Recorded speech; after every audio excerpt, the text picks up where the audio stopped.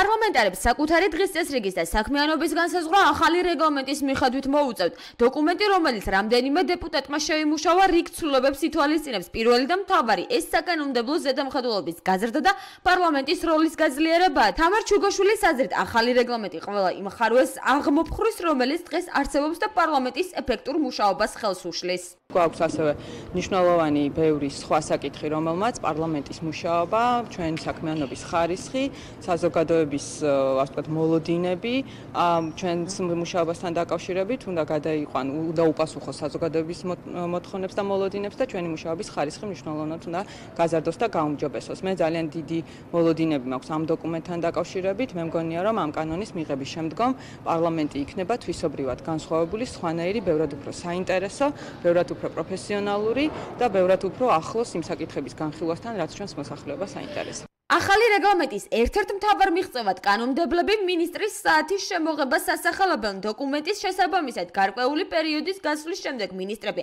ვალდებულნი იქნებიან პარლამენტში მივიდნენ და საკუთარი საქმიანობის შესახებ დეპუტატებს ანგარიში წარუდგინონ.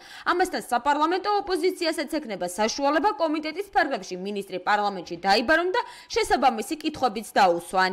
ცვლილებები რომელიც ხორციელდება რეგლამენტში მე ვიტყოდი რომ კიდევ უფრო გააძლიერებს პარლამენტს როგორც აღმასრულებელ ხელისუფლებაზე კონტროლის განმახორციელებელ ორგანოს. არის გარკვეული ნოვაციები ამ თვალსაზრისით. მაგალითად როგორც არის მინისტრის საათი როდესაც ყოველი მინისტრი წარდგება პარლამენტის წინაშე წინაშე შესაბამისი ანგარიშით მკვიდრდება ახლებურად ინტერპელაციის მექანიზმები, როდესაც ministrები იქნებიან ვალდებული მოვიდნენ პარლამენტში და პლენარულ სხდომაზე პასუხები გასცენ პარლამენტის წევრთა კითხვებს. ასევე შეიძლება ითქვას, რომ არის რიგი ცვლილებები, რომლებიც იმავდროულად უზრუნველყოფენ საპარლამენტო ოპოზიციის კიდევ უფრო გააქტიურებას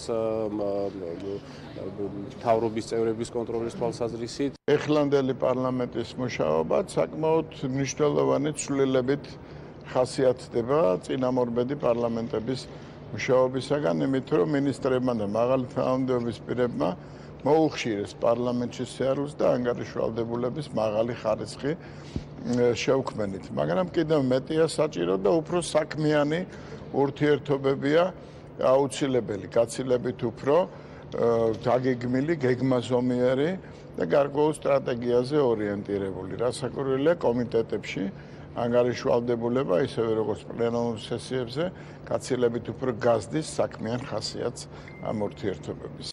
ახალი რეგლამენტის მიხედვით პარლამენტის ადგილმდებარეობის საკითხი მკვეთრად განისაზღვრება. საკანონმდებლო ორგანო მუშაობას თბილისში გააგრძელებს. დოკუმენტის მიხედვით კვლავ ბუნდოვანი რჩება უზენაესის სასამართლოს მოსამართლეების გამწესების საკითხი.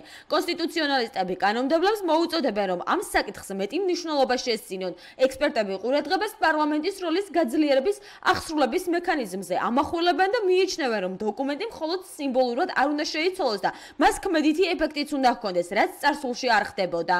ძალიან მნიშვნელოვანი და საყურადღებო გახავთ ის, რომ როგორ შესრულდება რეალურად ეს რეგლამენტი და ხომ არ დარჩება გარკვეული ნორმები ფორმალურ ნორმებად, იმიტომ რომ ჩვენ მოქმედი რეგლამენტშიც ქონდა გარკვეული ტიპის საკითხები, რომელიც არ სრულდებოდა სამწუხაროდ, მათ შორის ხშირ შემთხვევაში ეს პარლამენტის წევრების ინიციატივის არ ქონის გამო, ხშირ შემთხვევაში მთავრობის წევრების მიერ კანონმდებლობის იგნორირების გამო ეს უნდა ჩამოყალიბდეს მნიშვნელოვანი პოლიტიკური კულტურა, სადაც მთავრობის წევრები, მათ შორის და სხვა პარლამენტის წინაშე ანგარიშვალდებული ორგანოები ივლიან პარლამენტის თომაზე და პარლამენტის წევრებს წარუდგენენ ანგარიშს საკუთარი საქმიანობის შესახებ. შემოთავაზებული რეგლამენტის პროექტია აუმჯობესეს მთელ რიგ საკითხებს საპარლამენტო კონტროლის და ზოგადად საპარლამენტო ცხოვრების თვალსაზრისით. ეს ნამდვილად არ არის ცუდი დოკუმენტი, თუმცა ჩვენ გვაქვს გარკვეული შენიშვნები. ყველაზე მნიშვნელოვანი მათგან ეს არის სამთავრობო საათის არარსებობა. რეგლამენტის ახალი პროექტის თანახმად დეპუტატებისთვის იქმნება ეთიკის საბჭო, რომელიც კანონმდებლობის ქცევებს დაარეგულირებს და აუცილებლობის შემთხვევაში მათთვის სანქციებსაც დააწესებს. ეს ყველაფერი კი ახალი კონსტიტუციის ამოქმედების შემდეგ მოხდება, მაშინ, როდესაც ახლად არჩეული პრეზიდენტის სამშობლოსა და ერის წინაშე ფიცს დადებს.